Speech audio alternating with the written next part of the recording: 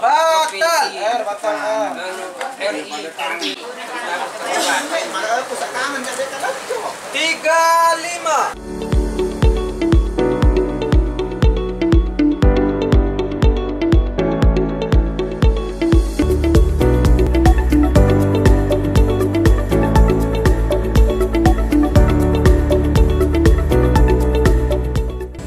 Jumlah daftar pemilih tetap pada Pilkada tahun 2020 di Kabupaten Lombok Tengah mengalami penurunan dari DPT pada Pilkada tahun 2015 lalu.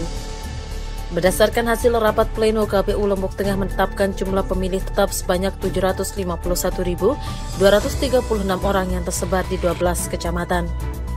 Dengan demikian, daftar jumlah pemilih tetap pada tahun ini mengalami penurunan sebesar 12.392 DPT dibandingkan dengan daftar pemilih tetap pada Pilkada tahun 2015 yang mencapai 763.628 orang.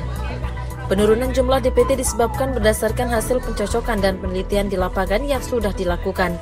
Banyak ditemukan banyak pemilih yang meninggal dunia dan tidak memenuhi syarat.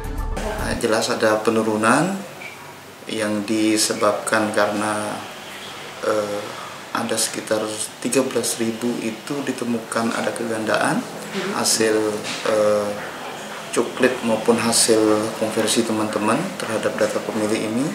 Kemudian ada 9.000 eh, ada sekitar 9 ribuan itu yang TNS tidak memenuhi syarat bagi warga yang belum masuk DPT dan memiliki hak pilih pada saat pencoblosan nanti diharapkan untuk membawa KTP agar bisa ikut berpartisipasi pada pemilihan nantinya.